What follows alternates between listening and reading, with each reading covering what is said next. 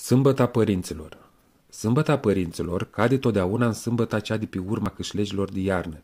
sau, altminterea zis, sâmbăta înainte de lăsatul secului. În sâmbăta aceasta să pomenesc toți cei ce au strălucit într-o sihăstria cu vioșilor și de Dumnezeu purtătorilor părinților noștri. Oamenii și cu deosebirii cei din Moldova pomenesc în această zi toți morții care nu se mai pomenesc decât acum și nu altă sâmbătă din postul mare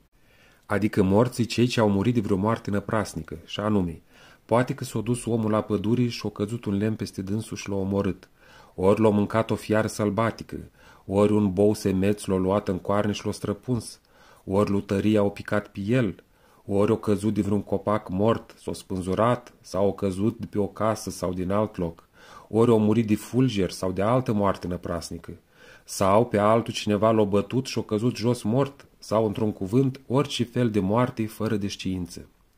Că de altfel, omul când zace și se simte slab, își caută singur de sfârșitul său. Și de aceea, oamenii în ziua aceasta duc la biserică colivă, colaci, ori fac praznic, ori dau de pomană vițel, vacă sau și lasă inima.